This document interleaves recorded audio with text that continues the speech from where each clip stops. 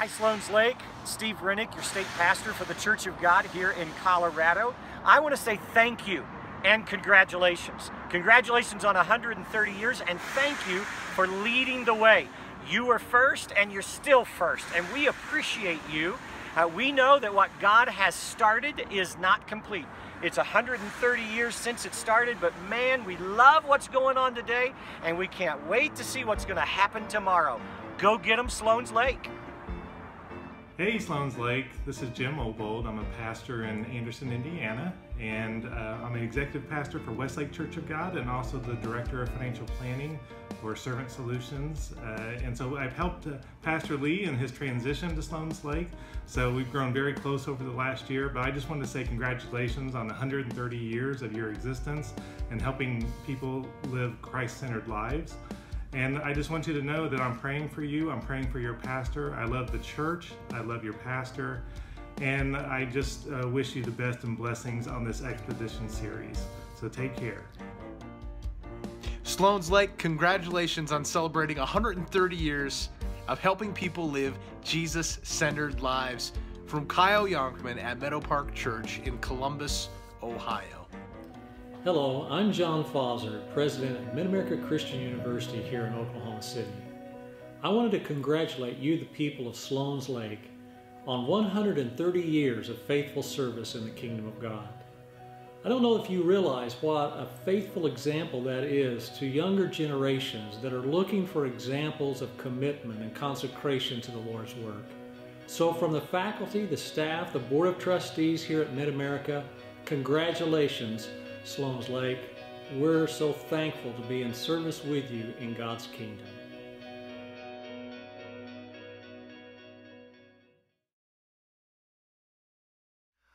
So, we are just a couple weeks away from the end of this series as we've looked back over 13 decades of continuous ministry in Denver, Colorado. And the theme for this series has been twofold. We've been looking back on those elements of our past that we are called to reclaim. Those things are just a part of who we are, and we would be foolish to ignore them as we walk the road ahead. But we have also been looking at what God is doing and going to do in the next season.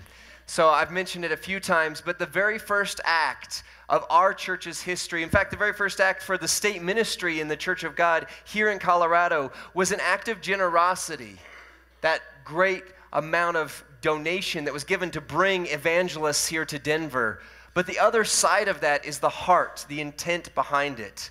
Because James Pollock gave that money, brought those evangelists here to reach the people God misses most right here in Denver. And so, the very strands of our DNA, if you picture that double helix, the two on the outside, are generosity and a heart to reach the people God misses most in our community. That is who we are. And that topic is more relevant than ever. All the way back in 2014, which doesn't seem that long ago, but when you talk about statistics nowadays, it's like every year is a light year ahead. So, back in 2014, Pew Survey did a, a search and a survey into the church and found that in America, from 10 years ago, we had declined by 30% in overall church attendance. That is the number of people in America that attend some form of a congregation, not even Christian, just, just for, some form of congregation. And so that accounts for 114 million adults. But then it gets even scarier as you look at the statistics because that was just the adults in America. When you add in children and youth, that is 156 million Americans who are no longer connected in any way to the body of Jesus Christ through a local congregation. Now, of course, some may be worshiping in private, and, and that's you know not accounted for in this, but just looking at these numbers, we have a task ahead of us. See, if we are going to live Jesus centered lives, I believe our hearts have to break for what breaks God's heart. And we live in a new era. You know, in the 1950s to the 1990s, there was some sort of cultural expectation that you would know God, that you would go to a church. It was your civic duty, it was the American thing to do. But now, we are in a brand new era where these are not only not the expectations on the average person, It's almost exactly the opposite. The cultural norm is not to believe in a God or to, to believe in whatever you want to believe in, to say, sure, there might be a God, but, but that's just up to you to figure that out for yourself. And as a part of this, churches around our country, especially older established churches, are declining and closing their doors at alarming rates.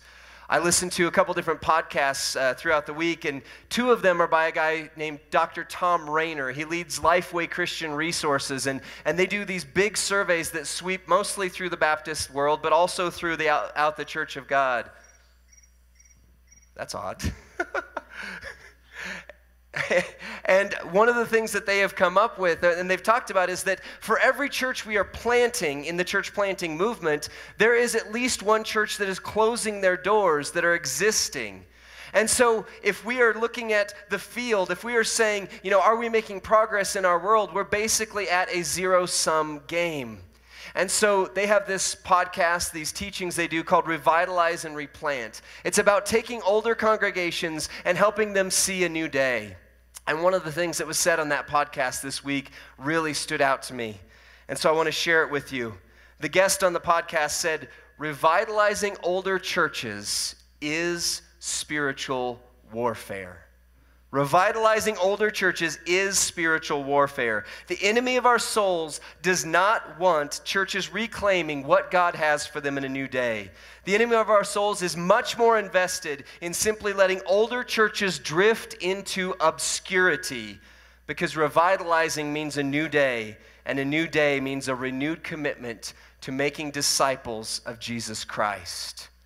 I don't know if you know this, but we are technically an older church. At 130 years old, we, as John Fozard said, as, as Steve, our state pastor, said, we, we were here from the beginning, but we're walking into a new day. And if we're going to continue to reach the people God misses most, we have to continue to focus our hearts on what it looks like to snatch people from the very gates of hell. We have to change the questions that are on our hearts. Not, do I like this? Is this something that's pleasing to me? But what is it going to take to reach the next generation?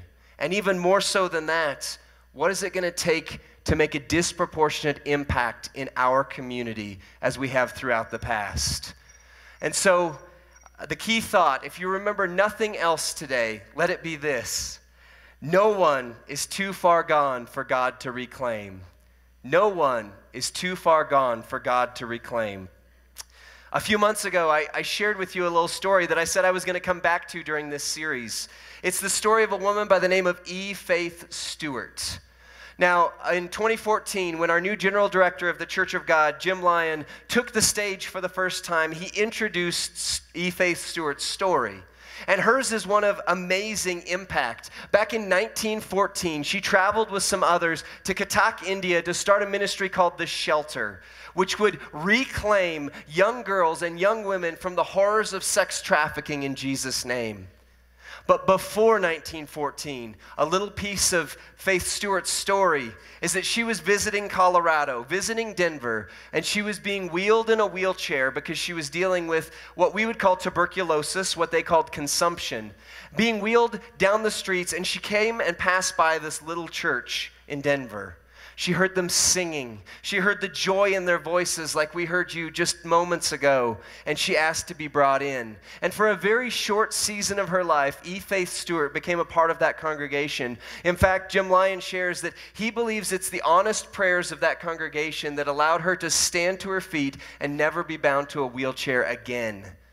Faith Stewart went on to impact hundreds, maybe thousands of young girls' lives, reclaiming their destiny from the gates of hell.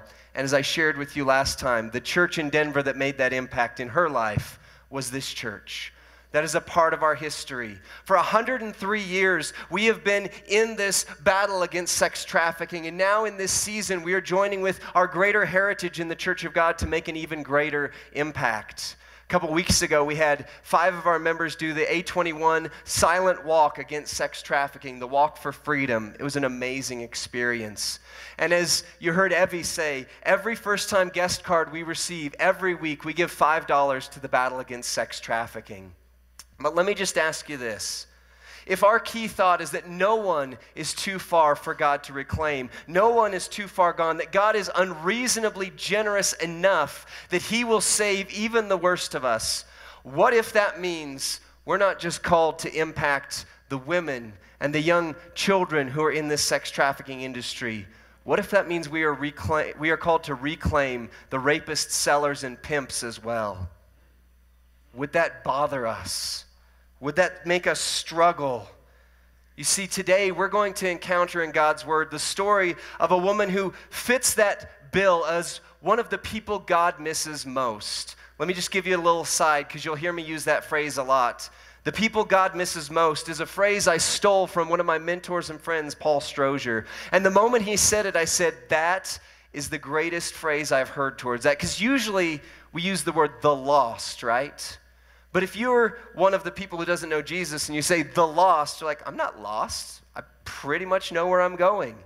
But if you listen to the language of the people God misses most, you hear God's heart shining through it. Because it's not about, you know, if you're wandering or if you're not. It's about if you are standing near God or if you're out there away from Him.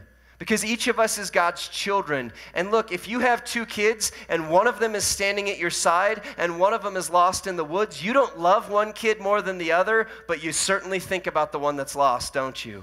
You certainly use your resources differently to reach the one who's lost. You, you manage your schedule differently to reach the one that's lost. It's not about loving one more than the other, it's about the people God misses most. And so we're going to come across Rahab's story. Turn, if you will, to Joshua chapter 2. Joshua chapter 2. Now, Rahab as you'll see in this, is a career prostitute. She's a, a pagan prostitute who is serving in the area of Jericho. And we're coming, uh, her story comes into Joshua's story. You see, Joshua followed Moses, the great leader of Israel, who was told that he was going to send the nations into the promised land, but God's people rebelled. And so a generation had to pass. And now Joshua, who's in the new generation, is being promised this land. And so we pick up the narrative in Joshua ch- chapter 2, verse 1. It says, Joshua, son of Nun, secretly sent two men as spies from the acacia grove, saying, Go and scout the land, especially Jericho. So they left, and they came to the house of a prostitute named Rahab and stayed there. Now, the king of Jericho was told, Look, some of the Israelite men have come here tonight to investigate the land. Then the king of Jericho sent word to Rahab and said, Bring out the men who came to you and entered your house, for they have come to investigate the entire land. Verse 4 But the woman had taken and hidden them. We're going to keep going in a second, but, but let's just stop for a moment and kind of see what's going on here. So Jericho, which would be a small township, it, it, would barely be, you know, what we see in these neighborhoods surrounding us. It, it's not a, a city in the way that we think of it today. And yet there's a king, there's a leader there who has gotten word that the people of God are coming there. They're going to reclaim the land. And he gets nervous. So what does he do? He hears that these men have gone to Rahab and he reaches out to her, expecting that as a king, a lowly prostitute would immediately obey any orders. But let's pick up in verse 8. It says, Before the men fell asleep, she went up on the roof and said to them, I know that the Lord your God has given you this land, and the terror of you has fallen on us, and everyone who lives in this land is panicking because of you. For we have heard how the Lord dried up the water of the Red Sea when you came out of Egypt, and what you did to Sihon and Og, the two Amorite kings you completely destroyed across the Jordan. When we heard this, we lost heart, and everyone's courage failed. Now, I want you to listen to this next phrase. For your Lord, I'm sorry, for the Lord your God is God in heaven and earth below. The Lord your God is God in heaven and on the earth below. You see, something was already going on in Rahab's heart. God had already started to move in her life. She was already questioning things. When she says, I have heard about this, she's not talking about recent events. This would have been over 40 years ago.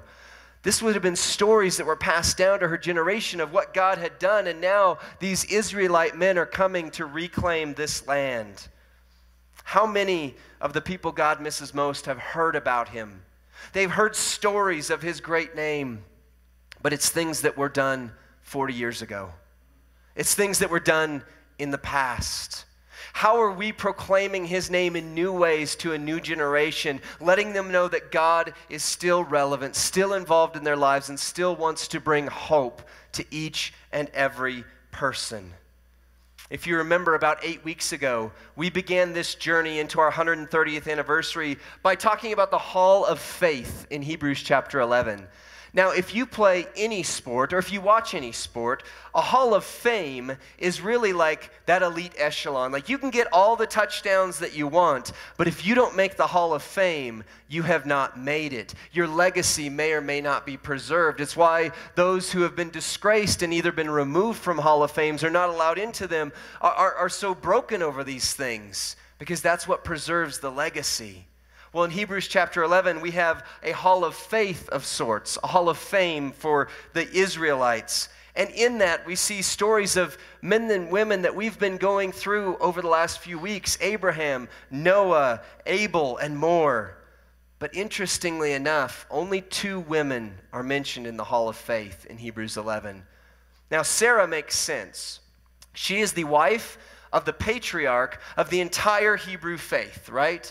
She, she, through her, the blessing of God blessed an entire nation and all of mankind. So Sarah, of course, makes it in. But you know the other woman who is in that hall of faith is Rahab, the prostitute, the harlot, the pagan. Rahab's life was so redeemed, so changed by God, that not only is she listed not among the naughty list, she's listed in the hall of faith. But that doesn't just stop there. You see in James chapter 2, verses 21 through 26, it, you see Rahab and Abraham compared together as an example of saving faith and how works should come out of it. So now she is listed as an example with Abraham, the patriarch of the Hebrew faith. But wait, there's more. Have you ever watched those commercials, right? It, it cleans, it does all this, but wait, there's more. Perhaps the greatest honor and the absolute most shocking thing about Rahab's life is that in Matthew chapter 1, in the genealogy of Jesus the Messiah, the Lord of Lords, the King of heaven, is listed Rahab the prostitute. Can you think about that? God does not hide from us the fact that his genealogy, that Jesus' physical earthly genealogy, includes a lowly prostitute. And if he can do that with her life and legacy, he can do that with ours. And so the first thing we see in Rahab's story is that God might redeem people even that make us uncomfortable. God might redeem people that make us feel uncomfortable. If you were sitting in Jericho during that day, you know, first of all, you'd be saying, the prostitute's never going to be the hero of the story, okay? That, that's just never going to work out that way. But then, if you were to sit on the other side of that, if you read through the, the genealogy in Matthew for the first time and saw Rahab, you would go, Whoa, whoa, whoa, whoa, whoa, God. Aren't there better examples? Aren't there more important names you could have listed? And yet, Rahab is there. Her story of redemption is proof that God is so unreasonable that no one is too far gone to experience his love in such a way that it doesn't just change their hearts, it changes the destiny of an entire people. That is the amazing God we serve. But let me get a little more personal with this. Let, let me bring in something that maybe will make it more modern to today. Over the last few weeks, we've experienced a very public figure fall from grace. As one of the most influential men in Hollywood, this man probably thought he was untouchable and was pretty sure that he was a god who was building a lasting empire. But as accusation after accusation after accusation, and they're still coming into this day, keep coming in, all of a sudden, this man's company has been dissolved. His legacy has been removed from the very academy that was supposed to uphold this legacy. In effect, he was removed from the Hall of Fame. His marriage has dissolved, and it's unlikely, but it's unsure at this point, that this man might spend the rest of his life in prison But let me ask you this what if his story isn't through? What if that's not the end of the tale? What if God were able to invade and reshape his story so much so that what is on the front page of the newspapers today, a hundred years from now, is not what's remembered, but the impact that he had as God changed his life? Would that make us uncomfortable? That's the story of Rahab. That's what it looks like when we say that no one is too far gone for God to reclaim them. Because there's something inside of us, and please, I'm not excusing this man's actions by any stretch. I'm not saying there shouldn't be repercussions for his actions. But let me just say this Would it feel uncomfortable if 50 years from now we look back and he was remembered as a hero because God changed his life? That is something we have to struggle with. Because as we look at Rahab's story, the second major thing I want you to see is that we must remember how God has unreasonably forgiven us. We must remember how God has unreasonably forgiven us. In your devotionals that, that you're going through right now for this series, there's a challenge. And the challenge is to post on social media and finish this phrase Before I turned my life over to Jesus, I was. Before I turned my life over to Jesus, I was. And you've heard some of my story. Before I turned my life over to Jesus, I was addicted to pornography, which is the gateway drug to the sex trafficking industry. Before I turned my life over to Jesus, I was a fatherless child. I didn't know if I had hope. I didn't know where to go to find hope. Before I turned my life over to Jesus, I sat at the bottom of a pool one morning and just said, What if I didn't come back up? And guys, I don't think my story is that shocking. I don't think it's that grand. To be honest, whenever someone said, Can you share your testimony? I'm like, There's not really that much there to share. I was, you know, a pretty good kid. I never did drugs. I never did, you know, whatever. But the reality is, every single one of us, as Romans says, has sinned and fallen short of the glory of God. Every one of us has that Rahab story. It may not be murdering someone, it may not be that you are a prostitute, you may not be selling others for money but you have a piece of your story that has broken God's heart and broken that relationship with Him. And He has forgiven you unreasonably. And so, the last thing then in her story we see is the call to arms for this week, the commitment that we have on the road ahead, that we will join Jesus' mission of relationally reaching the people God misses most. Look, Rahab's story had a turning point. She already knew something about God but she didn't know God. She had heard stories about God, but she hadn't seen God. The crazy thing is, in this text, we don't even really see how it is that she came to this faith that would lead her on to be in the hall of faith. But something about the interaction she had with God's people, something about the simple verses that are there, of how they challenged her, of how she worked with them, changed her destiny forever. And I believe that those people who are out there looking for Jesus or even just looking for hope, but they don't know where to find it, just need a relational interaction from us. I'm not talking about a, a token interaction where you say, hey, I checked that off my list today. I'm talking about a real interaction where we go back again and again. If we see them in the supermarket, they're checking us out, we intentionally go to their line, even if it's going to take us a little bit longer. We just give that extra little smile, that extra little word of peace to that person. You see, we've been given a mission by God. We are here to reclaim all that hell has stolen. We are here to help people find hope and help people live Jesus centered lives. And that is spiritual warfare. It's a battle that we are going to have to walk into every single day. And that is where I want to transition and challenge us this morning as we enter into prayer. You know, every week, every month that is, the last Sunday of the month, we do what's called Elders Prayer, where we have our Board of Elders come up, we, we have them stand up front, and we ask for whoever would like to be prayed over to come up front. You know, this week we had a conversation with someone who was talking about how we could, you know, maybe update some of the things in our sanctuary, in our hallway. And, and, she said something that Kellen and I just hadn't even thought of necessarily. She said, you know, having people come up front, if you just had an area in the back there, maybe more people would come forward. And I said, oh, wow, that is, that's shocking. Just the, the simple thought. So whether you stay where you are, whether you come up front with the elders, what I would ask in this time is that we pray. I realize I didn't leave you with anything actionable today. I always try and give you something to do that, that is a call to arms from the message. But when it comes to reaching the people God misses most, there's no two or three step program that's going to make it happen. And anyone who tells you that is just simply looking at people as numbers and not as names. But there is one thing we can do together as a church, and that's pray. I've talked to several people this morning, even, who said, I am going through spiritual warfare. I am going through a battle. And I believe we as a church, as we transition in this season, as we reclaim who we have always been to reach who God is calling us to reach in this next season, are going through some spiritual warfare as well. And so, my call to you this morning, whether you sit in that pew, whether you come forward, is pray for what you have on your heart. Pray for the people around you, but also pray for this church in this next season as we enter into a season where we are called to reach the people who are sitting right here now and who have been here for 40 years, but also the people who are out there who don't know Jesus and don't know where to find hope. And so, as the band plays, elders, if you would come forward for the elder prayer, and if you would join me at the altars or make an altar where you are, and let's just pray.